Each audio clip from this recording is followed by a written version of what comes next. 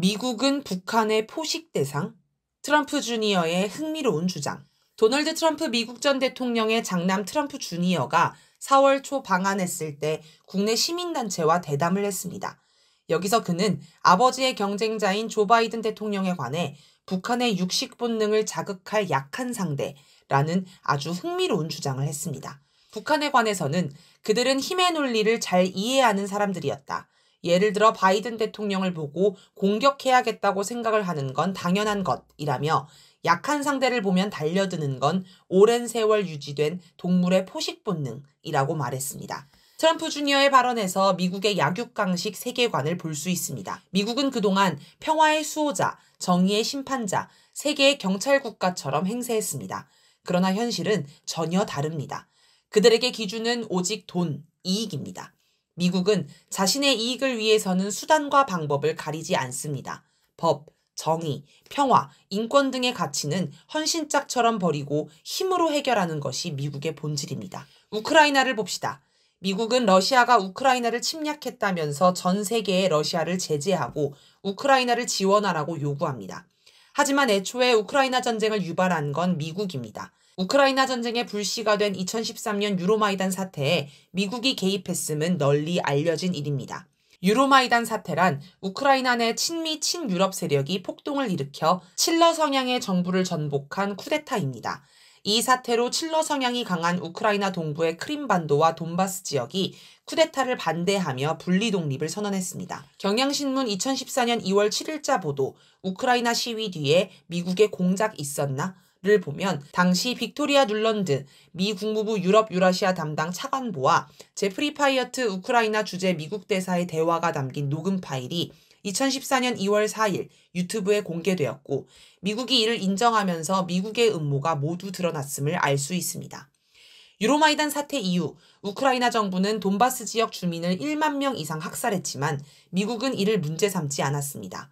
평화, 생명, 인권 같은 가치는 미국의 기준이 아니기 때문입니다. 서재정 일본 국제 기독교대 교수는 2022년 3월 20일자 한겨레 칼럼 우크라이나 미국의 꽃놀이패에서 미국 의회가 우크라이나의 신나치 세력에 대한 지원을 금지했지만 정부가 매년 군사 원조를 해왔으며 우크라이나 쿠데타를 획책했던 눌런드는 국무부 부장관으로 영전했다고 밝혔습니다. 미국이 우크라이나 전쟁을 유발하고 막대한 군사 지원을 하며 전쟁이 끝나지 않도록 만드는 이유는 간단합니다. 그것이 미국의 이익이기 때문입니다.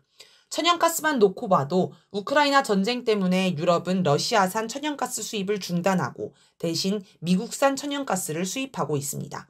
우크라이나 전쟁 때문에 미국의 시일가스 업체와 군수 업체는 때 아닌 호황을 누리고 있습니다. 팔레스타인 이스라엘 사례도 마찬가지입니다. 이스라엘 공격으로 팔레스타인 사망자는 3만 명을 훌쩍 넘어 4만 명에 육박하고 있습니다. 이스라엘의 민간인 학살은 엄연한 국제법 위반입니다. 국제형사재판소는 네타냐후 이스라엘 총리에게 전쟁 범죄 혐의로 체포영장을 발부할 움직임을 보이고 있으며 일부 나라들은 벌써 이스라엘과 교역을 중단하거나 단교했습니다. 심지어 미국 내에서도 대학생들이 정부를 향해 이스라엘 지원을 중단하라며 대규모 시위를 할 정도입니다. 하지만 미국은 이스라엘을 전폭 지원하고 있습니다. 무기 지원은 물론이고 유엔 안보리에서 이스라엘의 불리한 결의안에 거듭 거부권을 행사하며 이스라엘을 외교적으로 지원하고 있습니다. 미국은 법, 정의, 평화, 인권 이런 것에 아무런 관심도 없습니다. 오로지 중동에서 자기 영향력을 유지하는 것에만 관심이 있을 뿐입니다. 이처럼 미국은 도덕적 기준이 아니라 철저히 자국의 이익 관점에서 행동합니다. 웃기는 것은 그런 미국이 다른 나라에는 도덕적 잣대를 들이대며 압박한다는 점입니다. 이번에 트럼프 주니어가 한 말을 보면 국제관계가 도덕적 가치로 포장되어 있지만 사실 국익을 위한 힘의 논리일 뿐이라는 관점을 가지고 있음을 알 수 있습니다. 대부분의 미국 정치인은 이런 양육강식 세계관을 가지고 있지만 대중에게는 이를 숨기고 포장합니다. 그런데 트럼프 주니어는 아버지를 닮아서인지 이것을 꾸미지 않고 솔직하게 말했습니다. 트럼프 주니어는 북한에 관해서도 있는 그대로 말했습니다. 국제 질서가 힘의 논리를 기반으로 움직이는데 북한은 그것을 잘 이해하고 힘을 기르는데 매우 철저하다는 것입니다. 이 말은 양육강식의 국제 질서에서 북한이 현명하게 행동하고 있다는 것을 의미합니다. 그는 여기서 옳고 그름의 도덕적 평가를 하지 않았습니다. 바이든 대통령을 비롯한 많은 미국 정치인이 도덕적 평가를 한 것과는 다릅니다. 트럼프 주니어는 북한이 강하다는 것도 인정했습니다. 그는 현재 북미 관계를 북한이 바이든 대통령을 공격하는 것으로 묘사했습니다. 바이든 대통령이 북한을 압박하고 있는 것처럼 서방 언론이 이야기하고 있는 것과는 사뭇 다른 표현입니다. 트럼프 주니어는 자기가 보기에 바이든 대통령보다 북한이 더 강하고 강한 북한이 약한 바이든 대통령을 공격하는 것은 약육강식 세계에서 당연하다고 평가했습니다. 만약 자기가 보기에 북한이 힘이 약하다면 바이든 대통령을 공격하는 것을 무모하다고 평가했을 것입니다. 또 트럼프 주니어는 아버지는 재임 시절 북한을 잘 억제했다 라고 주장했습니다. 트럼프 전 대통령도 이전부터 자신은 북한과 좋은 관계를 유지하고 있고 앞으로도 계속 사이좋게 지낼 것이라고 말했습니다. 바이든 대통령은 약하기 때문에 북한에 포식당하지만 자기 아버지인 트럼프가 대통령이 되면 미국이 강해져서 북한을 이겨 북미 대결을 끝낼 수 있다고 주장을 할 수도 있었을 것입니다.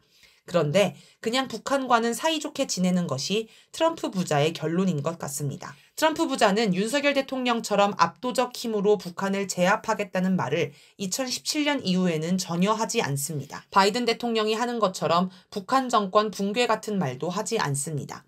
이런 점들을 종합해 보면 바이든이 당선되든지 트럼프가 당선되든지 미국은 북한의 포식 대상이라는 것에 변함이 없다는 생각이 트럼프 부자의 말 속에 담겨 있음을 알 수 있습니다. 약육강식 세계에서 강한 상대와는 싸우는 것이 아니라 사이좋게 지내는 것이 살아남는 방법입니다. 따라서 강한 북한과는 잘 지내는 것이 답이라고 생각한 것으로 보입니다.